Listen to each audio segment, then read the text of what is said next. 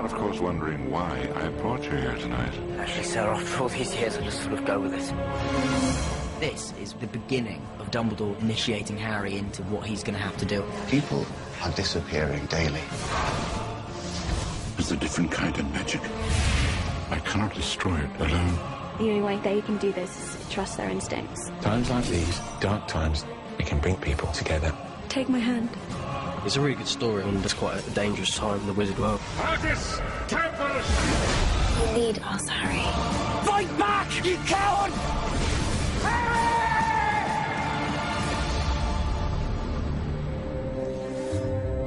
Every day, every hour, dark forces attempt to penetrate this castle's walls. We begin with a tremendous Death Eater attack. The anarchy that's beginning to undermine the wizard world has washed over into the Muggle world.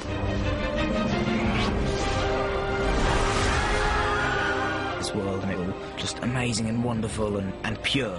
And suddenly that's totally disintegrated. There's so much uncertainty and fear, and everything is so unsettled. And what we need is a way to find out how we beat Voldemort. The place to which we journey tonight is extremely dangerous. Take my arm. Dumbledore takes Harry on this extraordinary journey. This place has known magic. Very dark, very powerful. This time, I cannot hope to destroy it alone. All this is part of the education of Harry Potter. Dumbledore is preparing Harry for the battle that lies ahead. What you are looking at are memories, in this case pertaining to one individual, Tom Riddle, of the day I first met him. In all the years Tom's been here, he's never once had a visitor. This strange boy sitting there like that in a trance and slightly evil. Who are you? Well, I'm like you, Tom. I'm different. Prove it.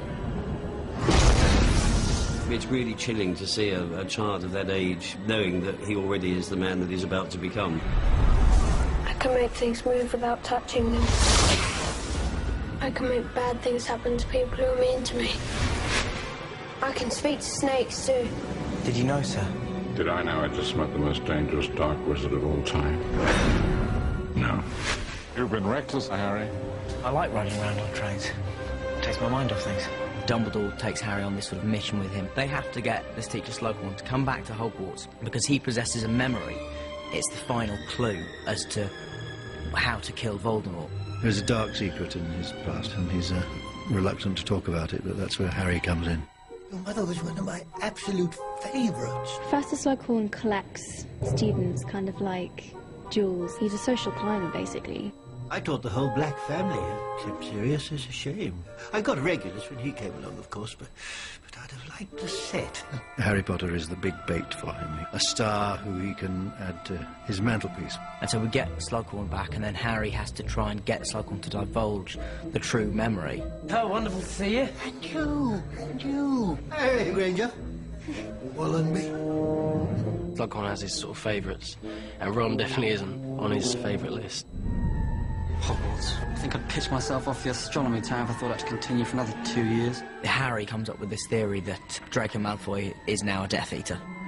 Take your hands off me, filthy squib! Malfoy's all mouth and no trousers. He's always talking big, and suddenly this young man has been given this mission by the Dark Lord. If Potter was the uh, the chosen one for the good guys, then I suppose Draco's the chosen one for the bad. Harry has uh, got his suspicions and is sort of stalking Malfoy to try and actually find out what's happening. He does look a bit sneaky, doesn't he? Like, we can all agree that Malfoy looks a suspicious character. We have a bit of a brawl in the toilet. Things are going to be smashing left, right, and centre. Half-Blood Prince. It's got some pretty scary stuff going on, but it's got some great comedy in it too.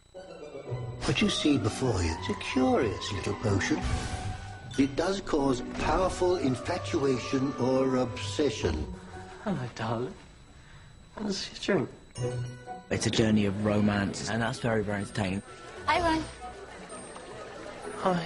Lavender's very focused on her desire for Ron, and she wants him, and she is going to get him. Good luck today, Ron. I know you'll be brilliant. It's quite interesting to get to this sort of serious relationship with this quite crazy girlfriend. Excuse me, I have to go and vomit. Hermione can't stand Lavender. Hermione thinks Lavender's just annoying. Really, really annoying.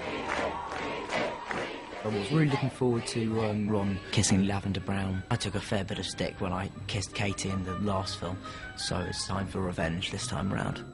Daniel Radcliffe was definitely there. His presence was known on the, the kissing scene day.